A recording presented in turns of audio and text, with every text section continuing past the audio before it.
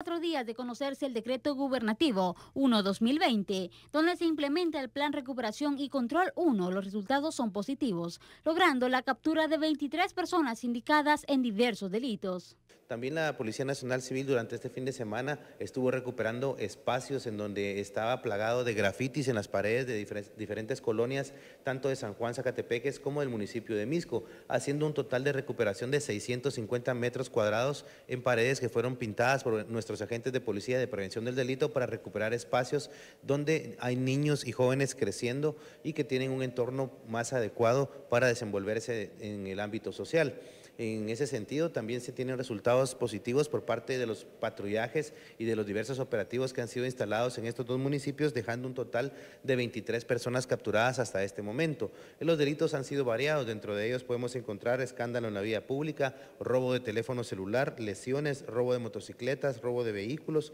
por extorsión, por rebeldía, amenazas, agresión a la autoridad, homicidio en grado de tentativa, posesión de droga para el consumo, responsabilidad de conductores y dos indocumentados de nacionalidad colombiana que fueron ubicados a través de allanamientos con el Ministerio Público y fueron expulsados del país para que sean retornados nuevamente hacia eh, su país de origen, que era Colombia. Ellos son sindicados de pertenecer a esa estructura criminal que se dedica a la usurería, es decir, prestan dinero en efectivo y luego amedrentan a sus víctimas con ataques armados, incluso cuando ellos se atrasan por los pagos que tienen que hacer en cuanto a los intereses y las cuotas que son establecidas. De ser necesario, la Policía Nacional Civil continuará su labor por más de seis días y la policía a través de las directrices estratégicas del señor ministro de Gobernación pues ha enviado eh, un promedio de mil agentes de policía que han estado trabajando en esa área durante estos cuatro días que ya han transcurrido. Sin embargo, pues eh, estamos a, a, la espera de las directrices. Sabemos muy bien que la temporalidad por el momento ha indicado el señor presidente que son seis días.